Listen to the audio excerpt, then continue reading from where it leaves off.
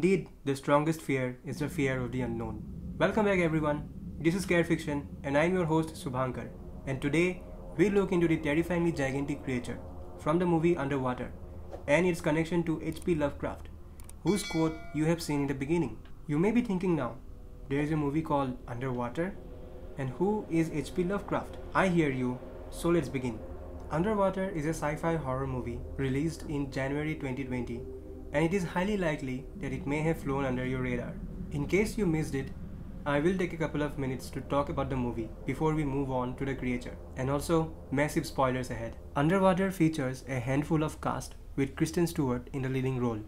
It follows a group of workers in a research and drilling facility at the bottom of the Mariana Trench, trying to escape a catastrophe. The facility is operated by Tian Industries and it has been badly hit by what seems to be an earthquake. This puts the crew's lives at stake as they try to escape, but little did they know that they had bigger issues monsters from the deep. The premise may sound familiar to Alien, and because of this, it has got a bad rep for being a deep sea alien knockoff. It has been panned by the critics, but honestly, it is a good movie, and I certainly enjoyed it. The movie has a stylized look to it with a good cinematography. Kristen Stewart gives a very good performance and so does the rest of the cast. I do have a few issues with the movie, but most significantly with writing. I think had the characters been well written, then it would have been popular among the crowd. It is plot driven, and so sometimes it feels as formulaic, but formulaic can also be turned to good, which this movie achieves. The movie shines at conveying a palpable claustrophobia and a sense of inevitable doom. I don't know if the movie was made as an ode to Alien and other popular works, but it most definitely serves as an adulation for Lovecraftian horror. With that, let's dive into the horrors that lurk deep within the sea. Lovecraftian horror, also known as cosmic horror, is a subgenre of horror fiction that emphasizes the cosmic horror of the unknown more than the gore or the other elements of shock. It is characterized as the fear and the awe when confronted with a phenomenon beyond our comprehension and far beyond the scope of our affairs. That's the underlying dread in the movie, and hence the Lovecraftian connection. In the universe where the movie takes place, Tian Industries is a shady organization that has been conducting deep sea research and drilling work, and as a result, this has awakened or disturbed the habitat of an unknown humanoid species. This species functions pretty much the same as the xenomorphs from Alien. These are feral beings with a killer instinct. These beings, which are sometimes fondly called clingers, don't have acid blood and are not an alien species, but are in fact from our Earth, I suppose, as far as this single movie is concerned. Although we don't see much of the clingers up close, but I did come across some concept art created by the VFX team of MPC. These are some real awesome stuff. The clingers respond to the call of a much bigger creature called Behemoth. But Behemoth, for all intents and purposes, is Cthulhu, as revealed by director William Eubank. So, who is Cthulhu? Cthulhu is a fictional cosmic entity created by H.P. Lovecraft and first introduced in the short story The Call of Cthulhu, published in, in 1928. He is considered a great old one within the pantheon of Lovecraftian cosmic entities. To throw a little context, the pantheon in this shared fictional universe, also called the Cthulhu mythos, consists of four categories of deities the great old ones, the great ones, the outer gods, and the elder gods.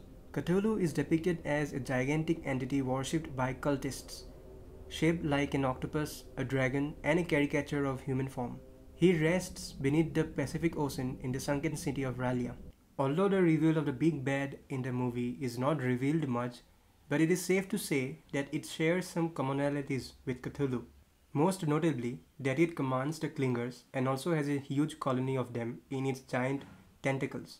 Or maybe they are spawned from it. The clingers are drawn to light and sensitive to sound. The clingers also bear striking similarity with the deep ones from the Cthulhu mythos. The deep ones are an ocean dwelling race who worships Cthulhu. They are humanoid beings with fish, human, and amphibian like traits. They are described as having grayish green, glossy, and slippery skin with white stomachs. They have scaled, ridged backs as well as webbed hands and gilled necks. Although their origins are still murky, the biologist played by Jessica Henwick provides some exposition, speculating that they might have hit a hydrothermal pocket while drilling and these beings are originated from there. Actually, in reality, these deep sea hydrothermal vents are the basis of a major theory for the origin of life. In evolutionary biology, scientific theories on abiogenesis, or simply the origin of life, fall broadly under three categories. Panspermia hypothesis, then there is the Oparin-Haldane model or the primordial soup hypothesis, and finally the hydrothermal vents. More specifically, it is based on iron-sulfur world theory, which proposes that early life may have formed on the surface of iron sulfide minerals. These creatures are described as underwater moths, but they seem more like the eyeless shrimp, which is a species of shrimp originating from hydrothermal vents. They don't lack vision at all, as inferred by eyeless, but they have light sensing organs on their back, just like the clingers. Thus, these creatures, according to me, may be allegorical to the origin of life on Earth, just like the xenomorphs are the perfect living organisms created by the engineers in the Alienverse. So I hope you have learned more about the creatures from the movie. The associated Cthulhu mythos is huge, and I will cover each in this channel. And if you want to know more about them, make sure to subscribe to the channel. About the movie, I have mixed feelings, but for all its flaws, it does things in a new way, and so it is enjoyable to watch. I have to say that it is effective in bringing Cthulhu to the big screen and possibly paving the way for a universe. And it also shines at depicting the existential dread. Also, I have attached a few links in the description to the hydrothermal vents theory of origin of life and the eyeless shrimp. These are fascinating topics and I will cover them later, but for now, go check out these links. So let me know if I have missed anything. And remember the drill like, subscribe, and comment. With that, it's time for me to sign off. See you soon.